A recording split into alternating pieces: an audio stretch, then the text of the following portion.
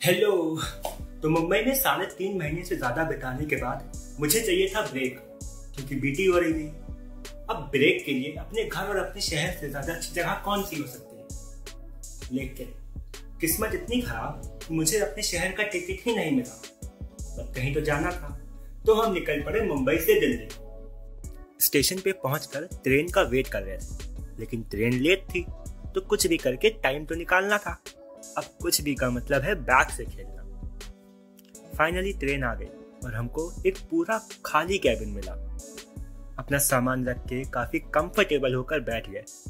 शायद कुछ ज़्यादा ही कंफर्टेबल अब बस कुछ 20 घंटे का सफ़र करके दिल्ली पहुँचना था। तो अभी रात में तो हम सोएँगे, क्योंकि सुबह नींद तो नसीब होने नहीं वाली। अब मिलेंगे सीधा सुबह। सुबह आँख खुली तो ट्रेन रतलाम पहुँच चुकी थी। हाँ वही स्टेशन जहाँ जब भी मैं तुम्हें गीत और आदित्य थे। बहुत देर पड़े रहने के बाद उठने का सोचा और अभी ब्रश भी करना था। हाँ इस ट्रैवल करने के लिए मैंने ब्रश रख लिया। लर्निंग फ्रॉम पास्ट मिस्टेक्स थोड़ी देर बाद पहुँचे कोटा। वो शहर जहाँ इंजीनियरिंग और मेडिकल के बच्चों की चीखें सुनाई देती हैं। कोटा फैक्ट्री देखा था तो याद आई कोटा की कचौड़ी। तो स्टेशन से कचौड़ी ली और ये अंकल से रास्ते के लिए थोड़े से केले।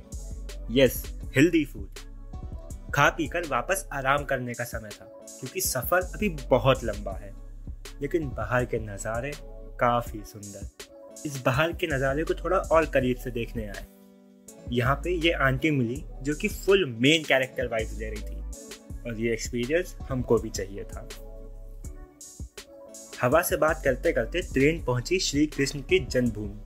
यानी कि मथुरा, जहाँ हमें बहुत घंटों बाद चाय नसीब हुई। भला हो उस चाय वाले का। अब मथुरा आकर यहाँ के मशहूर पेड़े कैसे मिस कर देते मथुरा पे एक घंटे के इंतज़ार ने सबको थका दिया। अब बस किसी तरह घर पहुंचकर सोना था। फाइनली इतने लंबे सफ़र और इंतज़ार के बाद ट्रेन ने दिल्ली पहुँचा दिया। और अब समय आ चुका था उतरने का। आखिरकार दिल्ली में कदम रखा। काफ़ी मिक्स्ड फीलिंग्स वाला सफ़र रहा बट अपनी मंजिल पे पहुँचने की खुशी के सामने सब अच्छा लगता है।